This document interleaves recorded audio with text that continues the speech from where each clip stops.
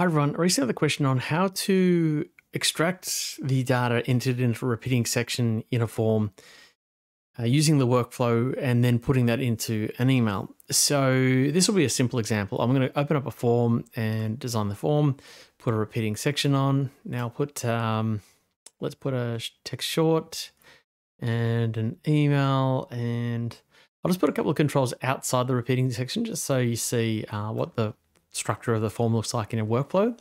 So I've got our date time outside and I'm just going to get rid of the one there and we'll call this uh, name and this email. So when we populate this, it's asking for a name in an email, but when you add multiple rows, what it's really becoming is a collection of name or an array of names and a collection of emails. So, um, so as I come here, I keep adding rows, there'll be a whole bunch of names and a whole bunch of email addresses. Now, what I want to do is grab all these names and put them in a bullet point list in an email. So how do I go about doing that? Well, let's go back to the workflow and look at how the form is sent to the workflow.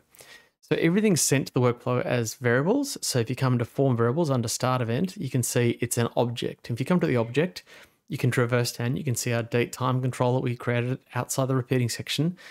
Now, inside a repeating section, or the repeating section itself, is actually a collection. Now, it's a collection of rows. And so inside the collection of rows, or inside each row, is that property of data. So if you click inside the collection, you'll see name and email. But what these actually structured, um, they're a collection of name and a collection of email. So how do we get all the names and put them into the email? Well, I would start by putting a send an email action on and I'll put a recipient on there. Uh, there we go, that's my email and also a list of names. And then I would come through here and set a variable which is going to be um, a cumulative list of every name it finds as, it, as it's going through the repeating section. So I'll call this a HTML list of names. So go ahead and create an insert.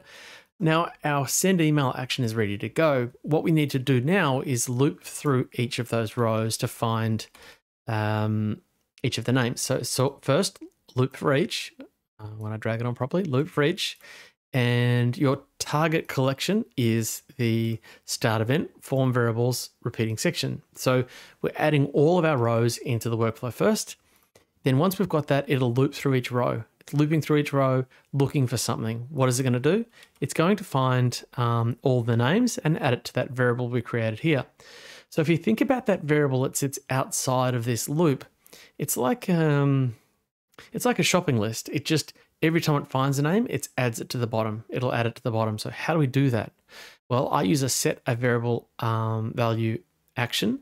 Then I set where I want the um, the value to be updated. Then I need to say, well, every time, first add the value that we've got for this variable. So it's sort of referring to itself. So workflow, HTML list of names, insert that first. Because if you just said, oh, when you find a name, put it in there, it'll delete the last name. And every time it finds the next name, it'll delete the last name. So what we want to do is to say, first, get the list of names you've found so far, add another one to the bottom, add another one to the bottom, and so on and so forth. So first we add the variable that that variable with the email. And then we're going to say li, which is HTML for um, unordered list.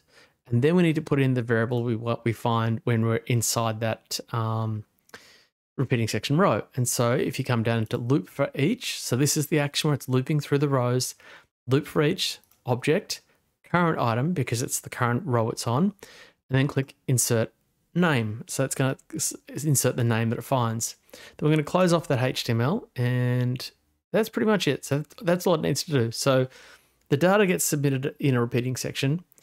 The loop for each will then go through each row. Through each row, it's going to add uh, each name it finds to the bottom because we appended the, the variable we created down here. Once it's finished, it then goes and sends the email. So we'll go ahead and publish. Now, you could build something even more complex if you really so desired. You could probably create, um, you could probably create a HTML um, table if you really wanted to do. That's probably for another video. So we're going to call this um, uh, looping on a repeating section. We'll go ahead and publish this and we're going to run it. And then I'll receive the email and we'll have a look at that in a moment. So I'm going to open up that form And I'm going to put a bunch of names in here. Don't really need the, the date. That's fine. Uh, Jane, Jeff, John, Jerry, um, Jack. That'll do. So we've got some names in there. We press submit, and what that's happening is the workflow has been submitted. It's looping through all the name, all the rows. It's getting the name out, adding them to that variable. Once it's finished, it's going to send me an email. And so if I click on my email here, and now you can see we've got an unordered list of all those names come through. So it's pretty it's pretty simple when you think about it. It's just knowing how to actually do it. So I hope you find that useful. Uh, thanks for thanks to George for calling that out. Uh, he um, he came up with the idea for the video. So hope you find that useful. Uh, certainly let me know in the comments. Cheers.